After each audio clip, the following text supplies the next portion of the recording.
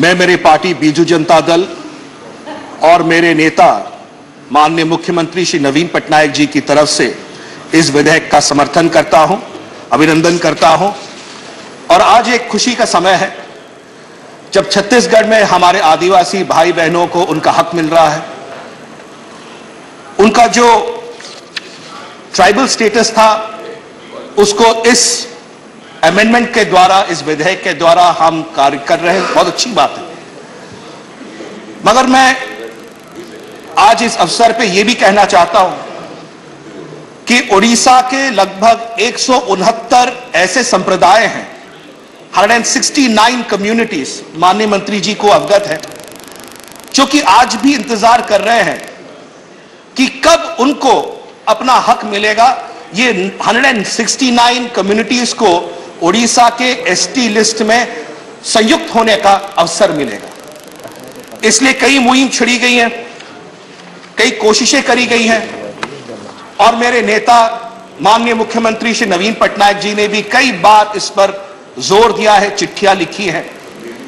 मैं आशा करता हूँ कि माननीय मंत्री जी आज जब छत्तीसगढ़ को अपना न्याय दे रहे हैं तो बहुत जल्द इसी सदन में 1970 से जो लंबित हैं 169 कम्युनिटीज शेड्यूल ट्राइब स्टेटस में इंक्लूड होने के लिए, उसके लिए भी कार्य करेंगे।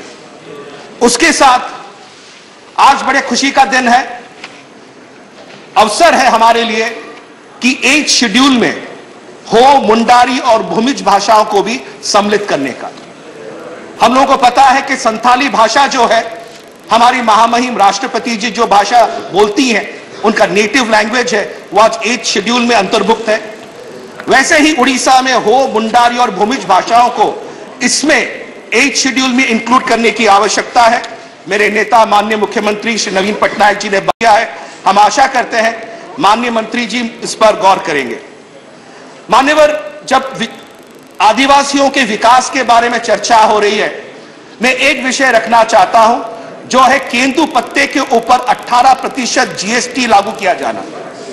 केंदू पत्ते लगभग 10 लाख आदिवासी महिलाएँ उड़ीसा में केंदू पत्तों को लेकर अपनी लाइवलीहुड अपनी रोजी रोटी करते हैं। 18 प्रतिशत जीएसटी उनके ऊपर लागू करने की वजह से वही आदिवासी बहनों के ऊपर जिस तरह का प्रहार होता है, क्या यह समय नहीं है कि जीएसटी काउंसिल इस पर गौर करे? और माननीय केंद्र सरकार ये 18 परसेंट जीएसटी हमारे आदिवासी बहनों के ऊपर से हटा ले, के दुपत्ते के लिए। उड़ीसा के लिए, पश्चिम उड़ीसा और दक्षिण उड़ीसा में मान्यवर, कई आदिवासी भाई बहनें हमारे हैं, जिनको कि आज तक प्रधानमंत्री आवास योजना से वो वंचित हैं। लगभग सात लाख प्रधानमंत्री आवास योजना के घर अभी भी लंबित हैं, जो कि उड़ीसा को मिलना चाहिए। मैं आशा करता हूँ, हालाँकि ये ट्राइबल अफेयर्स माननीय मंत्री जी का नहीं है बट क्योंकि सर्वांगीण विकास की जब हम चर्चा करते हैं, उस सर्वांगीण विकास में सिर्फ़ उनको अधिकार देने से नहीं होगा, उनको घर देने से होगा, उनको रोज़गार देने से होगा। आखिर में एक ही विषय कहूँगा, मान्यवर। आज एक गौरवशाली दिन है, जब हमारी महामहिम राष्ट्रपति जी, उड़ीसा की बेटी श्रीमती द्रौपदी मुर्मू जी, वो अपना कार्यकाल का एक साल संपन्न कर रही हैं। आज इस आज वो अपने जन्म स्थान उड़ीसा राज्य में है, तीन दिन के दौरे पे हैं, और मैं नमन करता हूँ। साथ ही मैं एक गुजारिश करूँगा केंद्र सरकार से कि महिला संरक्षण बिल को आप पारित करिए। जैसे आप चाहते हैं कि इस देश के जो नेतृत्व है, वो श्रीमती द्रौपदी मुर्मू जी ले, एक आदिवासी बेटी ले उड़ीसा की बेटी ले देश की बेटी ले। क्या हम ये नहीं चाहते कि ऐसे कई आदिवासी बहनें हमारी इस सदन में आए वुमेन्स रिजर्वेशन बिल के पारित होने से 50 प्रतिशत संरक्षण मिलने से।